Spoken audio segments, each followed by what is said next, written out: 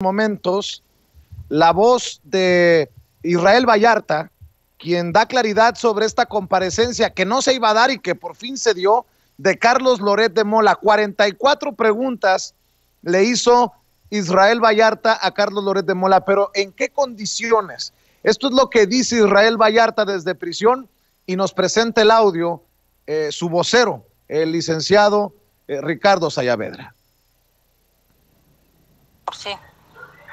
A las personas interesadas en la justicia y que siguen mi caso, a la opinión pública, les hago saber que no obstante que ya estaba debidamente notificado de que la comparecencia de Loret de Mola Álvarez sería el pasado lunes 26 de octubre, al final del día no se llevó a cabo.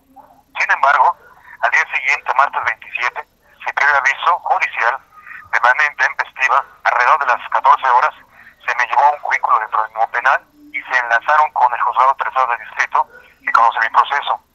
Ello en franca oposición a los principios del artículo 17 constitucional sobre expeditez y claridad, dando inicio a la audiencia por años buscada.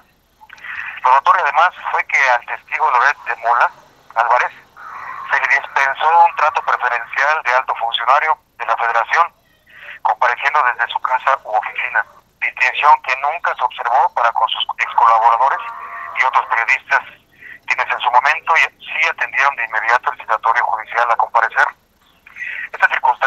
Levanta suspicacia sobre el actuar judicial, es una muestra que en el Poder Judicial Federal aún prima el trato preferencial para quienes pertenecen a un grupo de poder. Tal vez esa es la función que ha venido realizando el apologista del montaje, cabeza de vaca Hernández, quien se ha refugiado en un cargo de la judicatura, como en su momento lo hizo Medina Mora.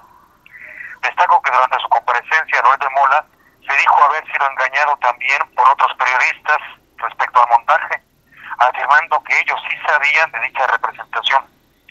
Con tales afirmaciones, resulta ser necesaria la citación de algunos de ellos para aclarar quién está mintiendo, tanto al juez como la inteligencia de los mexicanos y extranjeros. Gracias por su atención e interés y sigo trabajando con el equipo que me apoya. Seguiremos informando. Pues ahí está lo que dice Israel Vallarta. Eh, le dieron trato preferencial a Carlos Loret de Mola, quien comparece un día después de lo que estaba programado y se canceló de manera eh, abrupta. Lo ponen en esta comparecencia, dice Israel Vallarta.